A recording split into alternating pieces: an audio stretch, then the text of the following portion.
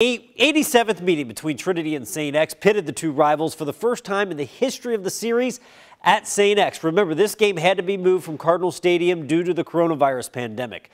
Tyler Greever was at tonight's game as the Rocks were the heavy favorites.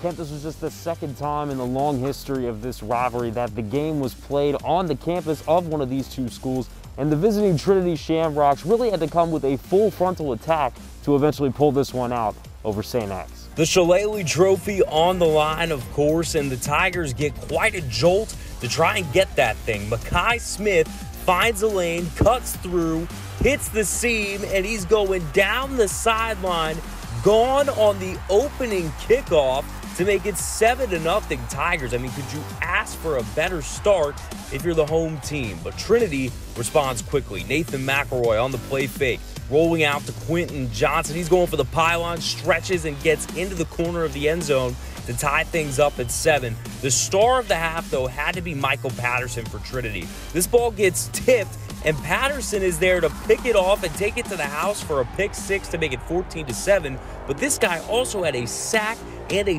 fumble recovery in the first half, so he was just everywhere. Trinity continues to add on. Bradley West gets the handoff, works his way through to make it 21 to 7. That would be the score at halftime. It's 28 to 10 when we pick it up in the third. The Tigers are threatening, but Blake Ruffin comes up with an interception. I mean, this Trinity defense just continues to prove that it is one of the best units in the state, maybe the best unit in the state, and the Rocks make the turnover count. Armand Tucker gets in to make it 34 to 10. Trinity wins 48 to 10, and on a night where the offense struggled without two of its offensive linemen, the defense and special teams combined for four touchdowns. You find other ways to win. The mark of a good football team is everybody else picks up that slack and then some. Coach said coming in this week, we're going to have to turn them over. Did our thing. Hey, hey!